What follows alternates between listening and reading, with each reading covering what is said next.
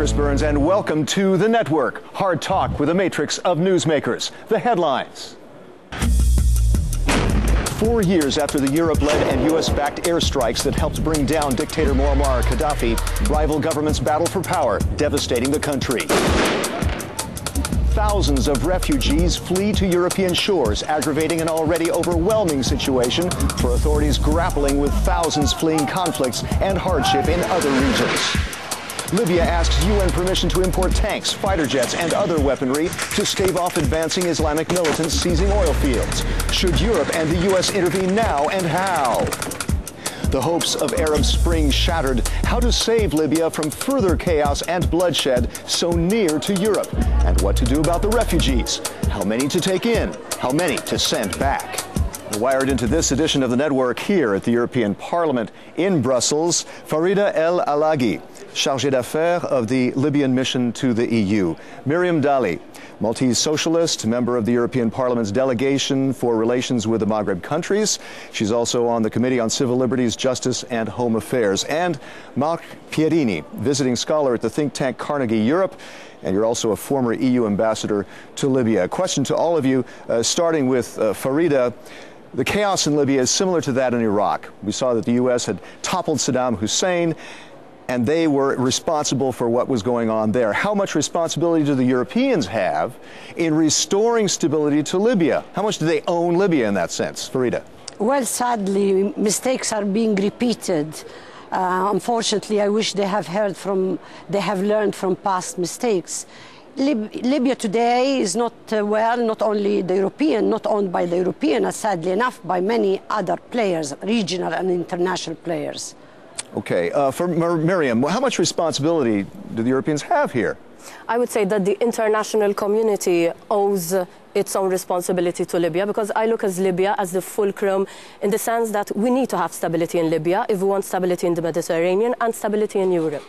Okay. Mark? Can well, you add anything to moral that? Moral responsibility is one thing, but as long as you have three competing forces, the government in Tobruk, militias or a rival government in the west, right. and ISIS in the middle, uh, there is no military solution, as uh, EU foreign ministers uh, recently said. Right. So, I mean, considering that, how likely is it that Libya will split apart, perhaps along ethnic lines? How much could that destabilize neighboring countries? What What is the danger of Libya splitting apart for Li Libya, we are doing our very best, never ever to leave Libya to split apart. So this is one point that I need to clarify. So the the the, the expectation that it might split apart now is the language that is in the international circles. So, uh, but you don't think it's going to happen? We hope not. Uh, we cannot see the future. The situation is revolving day by day, and the responsibility of the international community to move fast and to move quickly to solve the major problems. In Miriam, how much? I mean, your country is about 350 kilometers away from Libya, the closest European country there. How worried are you about that uh, split? If that does happen, a civil war, if there is a civil war, how could that impact you, Europe, and the rest of the world? No, it will impact us greatly. We are concerned about what's going on in Libya. We want a united Libya. So what we are supporting first and foremost is to have a political solution to the situation in Libya because we want a united Libya. How are you going to do this? And this, this is a question now to Mark.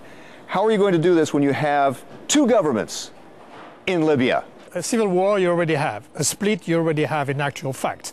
Um, so I mean, remember what's happening in, in, in Syria and Iraq. Uh, as long as the parties do not want to negotiate, uh, it gives a space to fill for the Islamic State.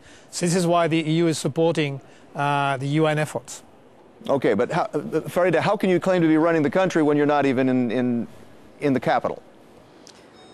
Well, you can run a country wherever you are. Not necessarily you are in the capital. The capital is not secured. Killing and ISIS and everybody now is around the capital. So our hope is that, yes, political uh, dialogue, but definitely I think ensuring security, ensuring uh, um, uh, the, uh, the, lifting of the embargo on the arms for the legitimate Libyan government is among the major solutions. There are so many others as well. Okay. What about now? What should Europe be doing, uh, Miriam? As far as that goes, should Europe, Europe be sending weapons? Should they be? Uh, how should they be supporting the the Tobruk government? I think that we need to energize the diplomatic efforts. So far, the European Union um, has been keeping a step back, I would say, when it comes to Libya. I would say that we had member states which were in denial when it comes to Libya. Things are moving now, but I think they should have moved much, much earlier. But I want to see a more of an energized diplomatic effort because I think that we need, first and foremost, a national unity government. And then we can start from there. And should that national unity government include, include the uh, uh elements of the Islamic State, Mark? Uh, no, we cannot talk to the Islamic State, and they don't want to talk to any uh, uh, former go other government. Uh, I think for the EU, the priority is first containment. Containment in Tunisia, containment in Okay, Egypt. and how do you do that?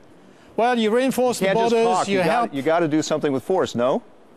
At the border, you can reinforce, uh, not militarily, but with counterterrorism, with police controls, control on the smugglers. This is vital for the survival of Tunisia. It's also very important for Egypt. That's the first priority. Second priority is to support the UN efforts. But of course, in the end, ultimately, it depends on the Libyans themselves. If I may, yes, if I may add now, we need, I think, the international community has to face their mistakes. For four years, we have been demanding okay. that. And how do they how do they face their mistake? How do they? What should they, they were now? slow in securing the borders. They were slow in recognizing ISIS was in Libya and in Derna three years and a half ago. They were slow in supporting also the legitimate government and uh, and and and you know the, the the support of that needs to be given to the legitimate government to the parliament. So the vacuum okay. that have been left by the international community have to be be now rethought again. And what should the international community be doing about the refugees? Miriam if I may, before, a national yes. unity government is part of the whole solution. Yeah. What I think we need really and truly is not a unilateral operation which involves a military operation. We need to see something which is mandated by the UN.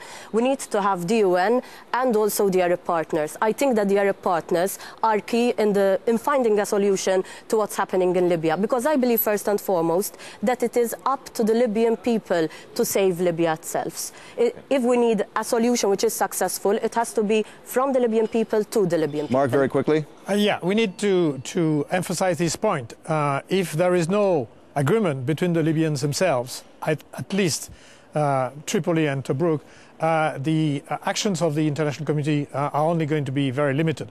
The EU is ready, and has said that recently, to support militarily a UN resolution to maintain peace in Libya. That's peacemaking, you mean? Yeah. Right?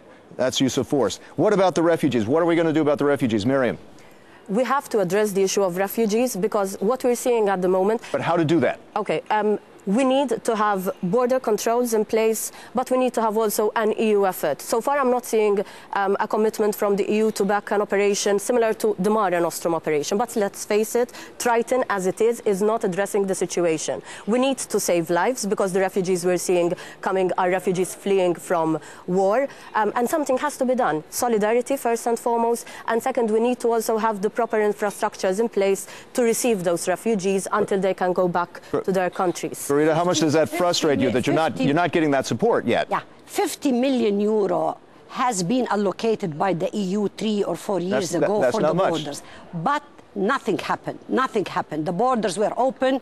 I think they were watching all those influx that were coming to Libya, ISIS and, and, and others. So, in my opinion, that were the lessons that ha they have to be confronting and learning from. So I think now the EU have to speed up its action because these ISIS are doubling and tripling by the day, and we cannot just wait.